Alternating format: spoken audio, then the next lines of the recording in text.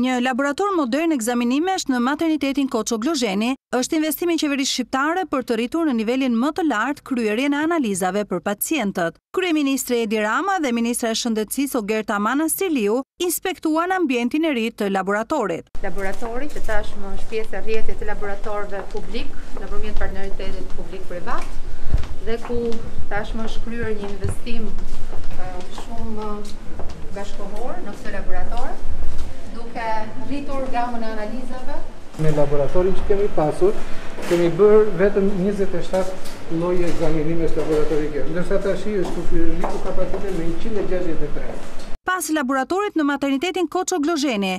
do të nisë edhe një super investim për të transformuar urgjencën, qendrën e gruas dhe të sallave të operacionit, duke i kthyer ato në ambiente me standardet më të mira qoftë për nënat ashtu edhe për të sapolindurit. Është faza e parë e projektit, në të cilin do përfshihet rikonstruksioni i sallave të operacionit me shtimin e kapaciteteve të tyre duke shtuar dhe dy salla të reja operacioni,